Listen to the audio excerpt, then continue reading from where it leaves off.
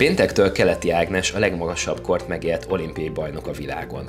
Az 1921. január 9-én született ötszörös olimpiai bajnok Keleti Ágnes, a vízilabdázó Tari Sándor 2016. május 21-én bekövetkezett halála óta a legidősebb élő magyar olimpiai bajnok, péntektől pedig a legmagasabb kort megélt olimpiai bajnok a világon, ugyanis Tarics 102 évet és 241 napot élt, ez haladta túl a legeredményesebb magyar tornász.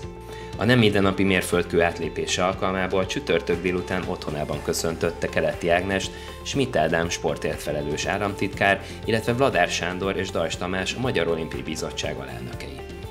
Hát egy élő ikon, egy példakép, egy olyan hőse a magyar sportnak, akire rendkívüli módon büszkék lehetünk, és nagyon örülünk annak, hogy ő itt van, örülünk annak, hogy reméljük még nem az élete vége felé, de hogy egy újabb csúcsot állított föl, és egy újabb világra szóló eredmény köthető most már az ő nevéhez.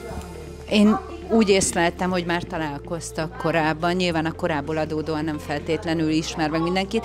Mit szól ahhoz? Azt hallottam a gondozójától, hogy tornaversenyeket néznek, régieket, újakat, és és rögtön észreveszi a hibákat és kritizál. Abszolút, hát a, Voltam már többször itt, találkozhattam már Ginénivel többször. Körülbelül tíz évvel ezelőtt még úgy köszöntöttük a születésnapján, hogy spárgát is csinált itt, ezen a, ebben a szobában, úgyhogy hála Isten. Hát én azt gondolom, hogy ő neki a tornasport az az életének egy olyan szerves része, ami valószínűleg most is még egyrészt fölidéz benne elképesztő emlékeket, másrészt meg valószínűleg erőt is ad neki. Hű, mennyien vannak! De én nem ismerem De nem baj, ők ismernek téged. Aha. Igen, kedves, itt vannak. Köszönöm szépen.